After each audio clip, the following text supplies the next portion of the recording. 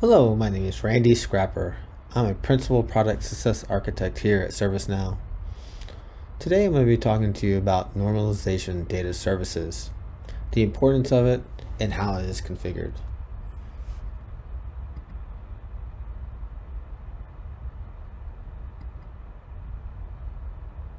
Today we're going to talk about what the normalization data services are and go through the guided setup.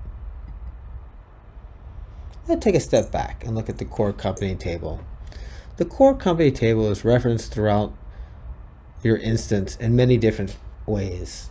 It could be, sorry, it could be a service provider, it could be a customer, a manufacturer, a vendor, or even an internal company. Your tools that you have out there, discovery tools or your other integrations, will bring back companies in, in different ways. So let's look at some of the different ways that Dell can be reported. So these are just some of the different ways. There are hundreds of different ways that Dell can be reported, but these are just a couple of them. But at the end of the day, and for reporting purposes as well as reconciliation, we want to normalize that data on just one value.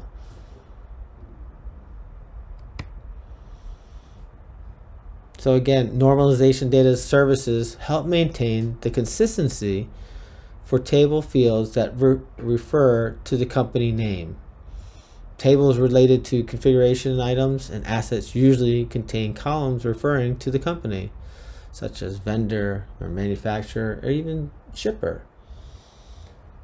These names are reported differently and with this inconsistency can can uh, cause problems in reporting and reconciliation.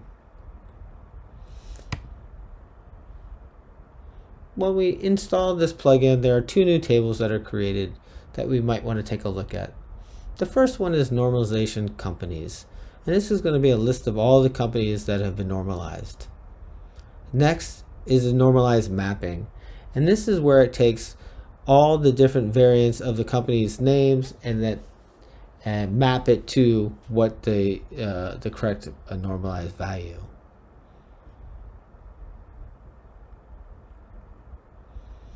And normalization data services, they have a guided setup, and we highly recommend using this.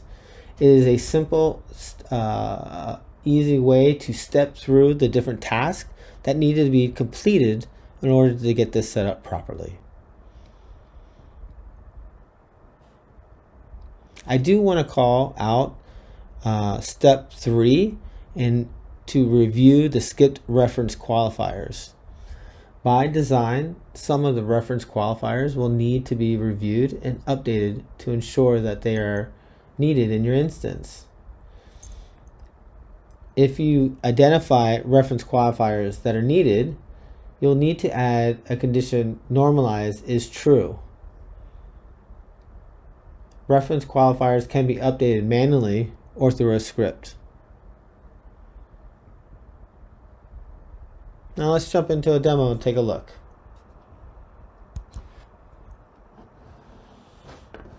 I'm going to go into the navigation screen. I'm going to type in normalization or start to type it in and you'll see it under user administration normalization data services.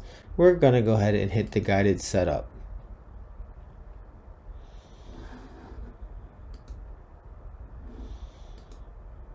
So from here, you'll see all the, the steps that need to, all the tasks that need to be done. Now each one of these uh, are set up to configure. It's going to take you right to the spot to either verify um, that the plugin or action has been taken or allow you to do an action to complete. In this one, it's for verifying the plugin was active. And we do see that it's active, so we can go ahead and close this and mark this as configured. The next one is downloading the data from the repository of all the vendors' names and the mappings to it. We click this and we'll go ahead and start the download. Now this download sometimes takes up to an hour for the first time. Once it is completed, close and mark as completed and move on to updating reference qualifiers. Here you'll go ahead and start this update.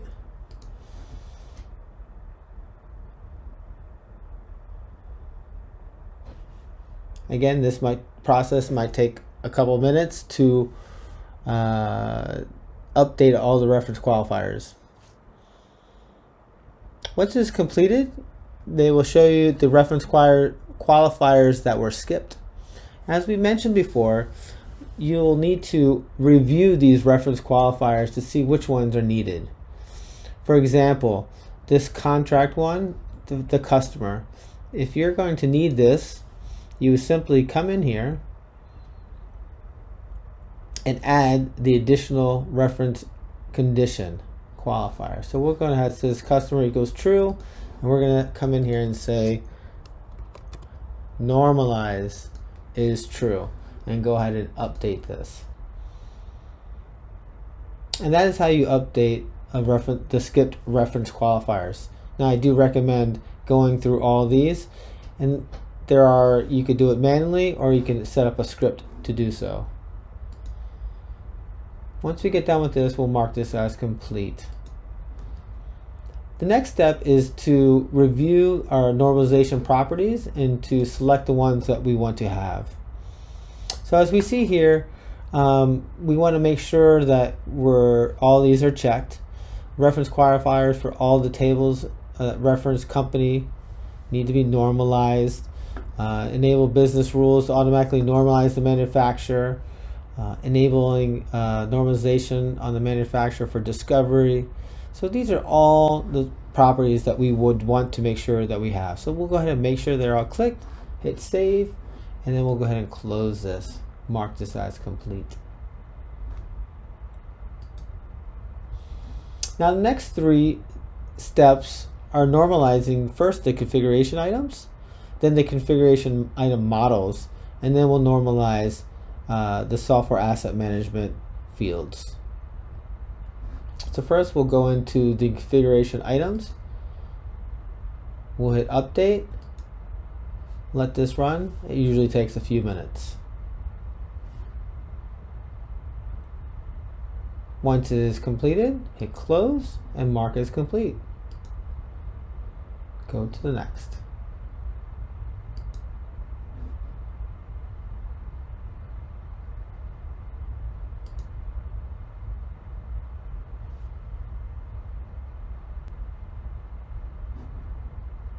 Close and mark as complete. Now let's sc scroll down to the normalization software asset management. Take a second before you normalize it. Take a look at all the fields that is going to be normalizing either uh, in asset software asset management foundations or professional uh, or throughout the application when you're talking about software asset management. So we'll go ahead and configure this the same way. We'll go ahead and start the update and let this process as well.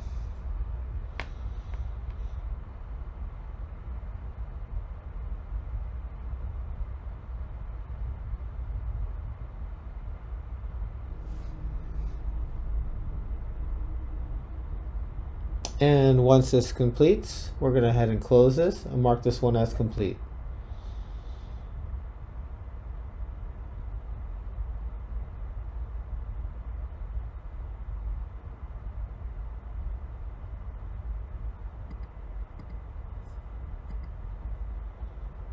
And we have just completed the guided setup for normalization data services. Now, there are two additional tables that I want to do want to call out to. Uh, this is the normalized company names. We click into this, we can see all the company names that were normalized. And then the normalized mappings will show you the mappings for each of those normalized names. So let's take a normalized name. We, we use Dell Inc.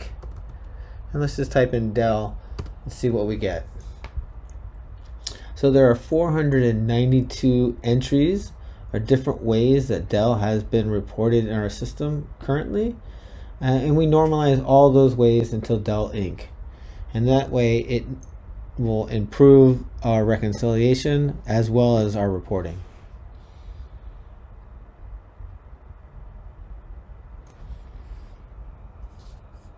So let's just wrap things up. You know, today we talked about normalization data services, normalizing the core company table that is used throughout your instance. We showed you how to use the guided setup to ensure that all updates are captured and updated. We highlighted uh, reviewing your reference qualifiers to determine which ones are needed and showing you how to add a simple condition if they are. And finally, uh, we showed you how to look up the normalized company names and the mapping to all its variants. If there's any other additional information needed, please reach out to ServiceNow product documentation. Thank you very much.